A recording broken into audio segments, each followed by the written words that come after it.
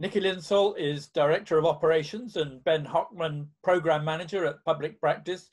Public Practice was formed in 2017 at the GLA by Finn Williams and Pooja Agrawal, and its aim is to build the public sector's capacity for proactive planning and place shaping. So perhaps both of you, you could uh, tell me, uh, how did you get involved with public practice and what are you doing at the moment? My journey to public practice is a pretty convoluted one, um, but in a nutshell, I've always been working in not-for-profits and social enterprises, and a lot of my journey has been around questioning the public good or public value of the architecture profession. Um, and then I kind of did a pivot into working in people and analytics in the tech industry, looking at sort of mapping spaces and mapping people. Um, and then just sort of serendipity kind of came about and heard about the GLA setting up public practice and they were looking for people to help kind of put it into practice. And it just felt like the right time and the right sort of the same values that I always pushed, particularly around sort of the need for people, place, practical responses to issues rather than big picture stuff that I think I was getting a bit frustrated working in academia and talking about the high level stuff and I really wanted to put some things into practice and this just felt like the natural kind of next step. I think my uh, also have quite a varied background, as you well know, Peter, but um, most immediately as a, a planner, so a trained planner, but also have quite a lot of other uh, experience in lots of different sectors. And I had moved back to the UK at the end of last year after living abroad for a year, and um, I kind of missed being a, potentially being an associate. I missed the last recruitment round, um, and yeah, I was kind of lucky enough to, to have to this role come up come up within the organisation. And at the moment, the main piece of work I'm doing is going. Uh, we're looking at all of the expressions of interest from local authorities, and um, and also assessing the the many applications we've had from potential associates, and we're starting that process of of matching potential associates to the roles across the area. So has COVID-19 increased the demand for the skills delivered by cohorts?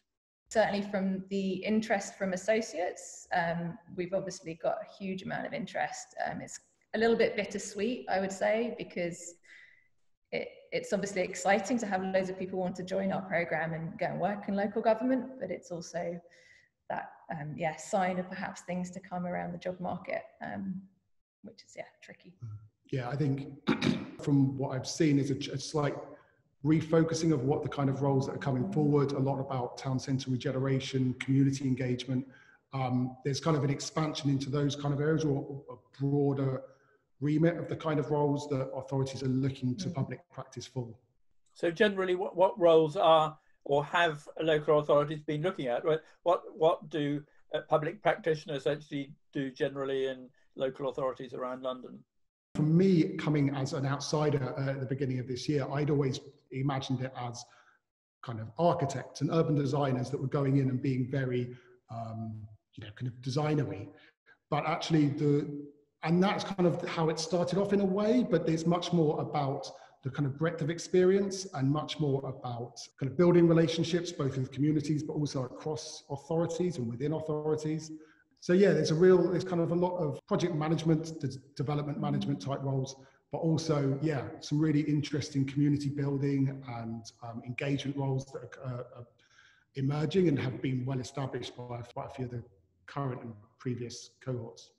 One conversation I had with an authority recently was around sort of this experience of 2020 has just sort of highlighted the need to have team members that are willing to roll their sleeves up and sort of put on different hats and sort of try out new things and sort of be quite cross-disciplinary and willing to yeah kind of push themselves into maybe areas of, that they weren't so comfortable with but using their skill set and their attributes. It's been interesting to see that line managers and authorities are sort of seeing that it's not necessarily about the job description, it's about the type of person that they want to recruit, which I think I've seen over the journey of public practice to date becoming a kind of stronger thing recently. Do people tend to, if it works out, they tend to then take get a permanent role in that local authority generally, or do you move them on somewhere else afterwards? That depends on the position. That is ultimately one of the, you know, a big achievement for the, the organisation is when um, people do stay on in those roles or or decide to stay on in the public sector in another role. Um, so those are big achievements. I think anecdotally, definitely, I really like hearing the stories, mm-hmm. speaking with associates about either the fact that it's opened up opportunities they may not have considered, or have yeah, kind of they really feel they've been able to to get involved in a, in a different way to how they may have conceived earlier in their careers. So, do you see it as somewhere that actually recruits people into the public sector who might normally have gone into private practice? Well, in terms of from a graduate point of view, or do you mean graduate point of view, or even professionals who are maybe looking for a new direction? I, th- I think that's definitely the sort of premise of how we set up the program initially was middle to latter career stages rather than early stage was are you looking to sort of see things from a different point of view or are you looking for a different form of challenge i think as we've grown or, or done this program a few times now we're seeing that actually there's over three years plus experience or even end of year career and people coming who spent 20 30 years running their own private practice but would actually really like to see it from from the other the other viewpoint. Um, so it's become, I think, a fairly open remit for lots of people at different stages of their career, um, and potentially in the future something we would be interested to look at is how we can sort of help support the, the more graduate sort of entry level roles, but that's certainly not something that we've got the capacity to do right now. How many people uh, can you draw on? You get big uh, numbers of applications when you advertise? So this latest round, I don't think we've sort of announced the figures yet, but we've had about double the amount that we normally get um, for our latest recruitment rounds. Um, and normally it's sort of, I think around, we're anticipating probably one to 10 ratio in um, people who apply to the pe people that we place. So it's pretty competitive. And what's really interesting when you read the bios and the applications from all these different people is they come from a beautiful spectrum.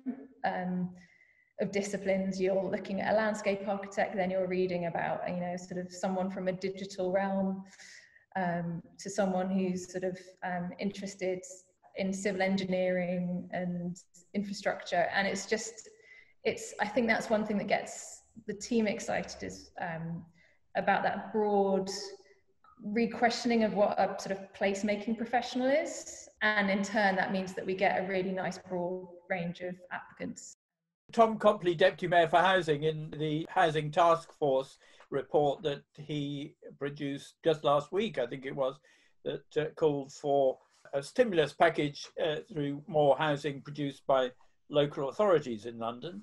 Uh, uh that's the sort of thing that uh, public practitioners can really help with. I think that's what's got a lot of people enthused, or a lot of the current and past associates enthused, is is yeah, it's delivering things that you you hear a lot of talk of and you see some grand plans for, but um, yeah, seeing those things actually happen and being able to advocate for more of that. And obviously, we all know it takes a lot of coordination and a lot of funding and political will to get these things to get these things going. But that's definitely a big target of what we can do with the cohort that we have as well. That wider network is is kind of keep amplifying that message and the positivity of it.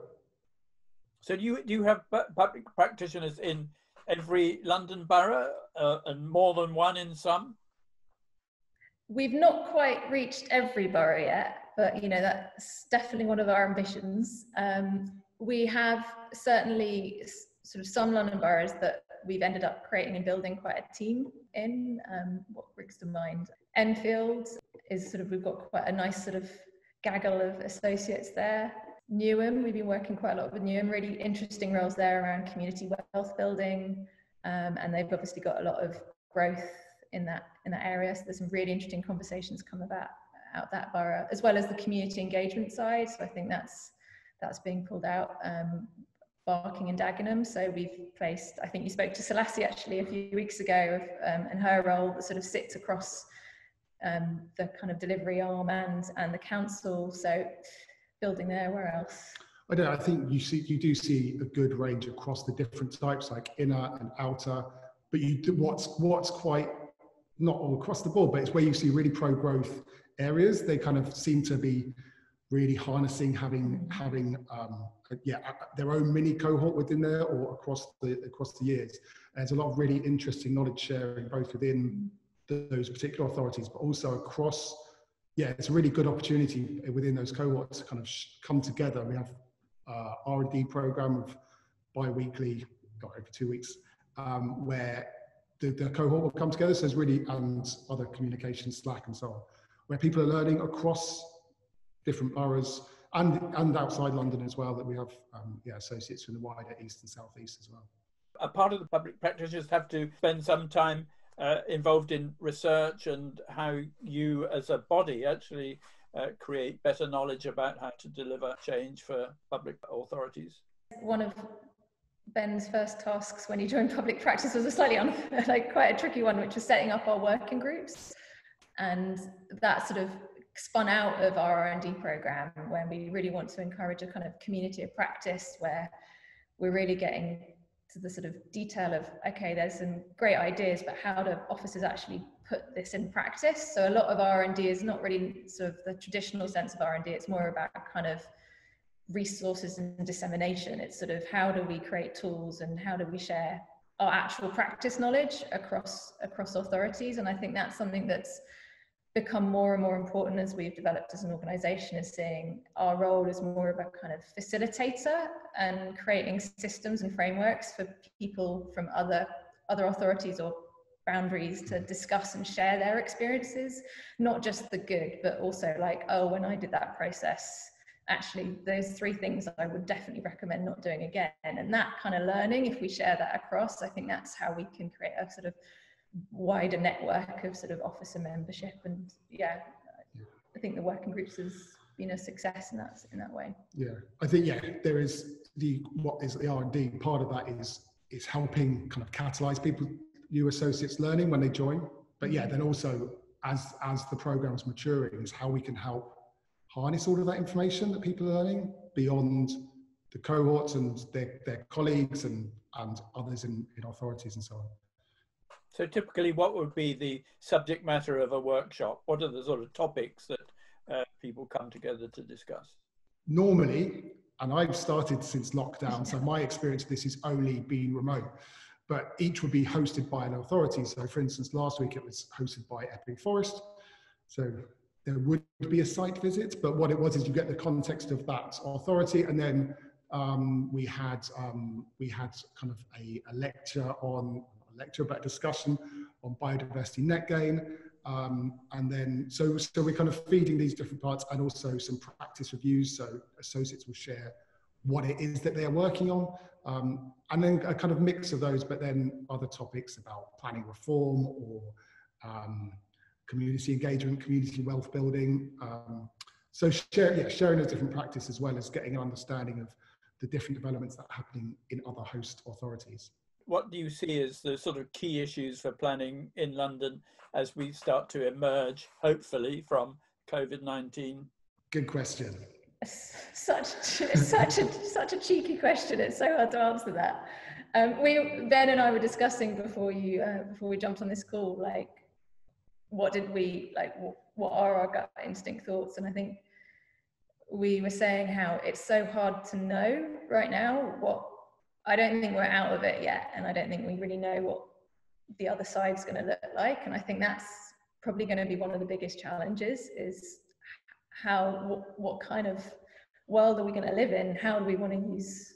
How do we go to work? Do we go to work? What, what, yeah, there's so many unknowns that I think we were saying that maybe one of the roles right now is to be asking the right kind of questions to as many people as possible and maybe breaking down those sort of asking people that we wouldn't normally ask because I think there's a lot a lot of hidden knowledge that I think if we pulled all that together, we could probably start to get an idea of, of what the future might hold, regardless of uh, COVID or not.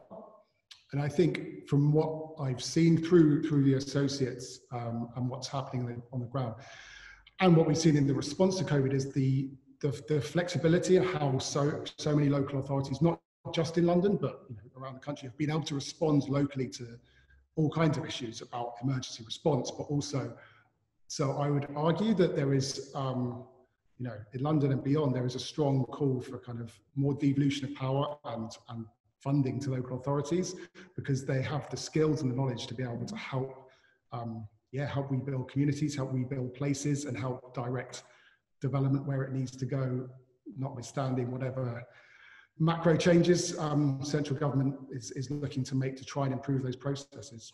I think, yeah, the devolution to local authority is really important. Nikki and Ben, thank you very much for the work you do, but also thank you very much for your insights into what uh, public practice does as well. Thank you very much. Thanks, Peter. Thanks, Peter.